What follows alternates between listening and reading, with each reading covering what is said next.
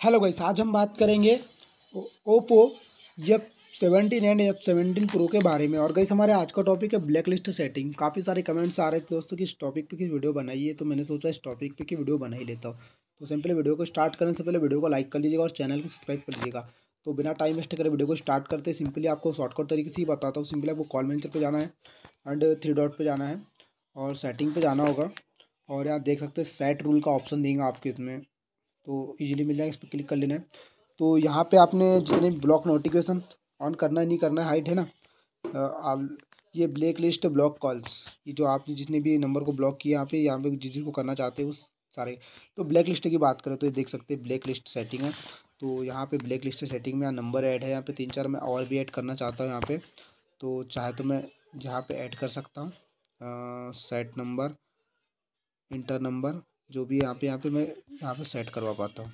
Select number contact में जाके तो ये इनको ऐड कर लेता हूँ मैं। ये ऐड हो गए।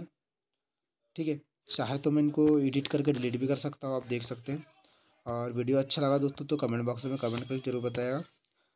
तो हमारे आज का टॉपिक ये था। उम्मीद करते हैं आप सभी को पसंद आया होगा। पसंद आया होगा तो वीडियो को लाइक कर दीजिएगा, चैनल को सब्सक्राइब कर लीजिएगा और सब्सक्राइब ज़रूर कर लीजिएगा। तो मिलते हैं अब नेक्स्ट वीडियो में। चाहिए